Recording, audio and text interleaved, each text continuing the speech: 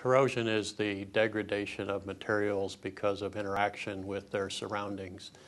The typical thing we think about is rust of steel. So if steel is exposed to rainwater or the atmosphere, it turns into rust. But most materials will be attacked by an environment, one or another.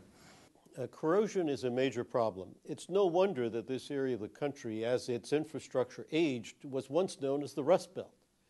And infrastructure that decays, whether it's in the Department of Defense, where it costs us nationally over $30 billion a year, or our total infrastructure, which is impacted in the excess of, in excess of uh, $400 billion.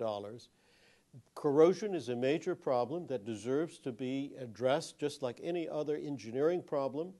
Having the right education to mitigate it, uh, to create the new knowledge through research that allows us to improve our approaches to preventing it and managing it when it does happen is, uh, after all, a major issue for the nation and for the Department of Defense.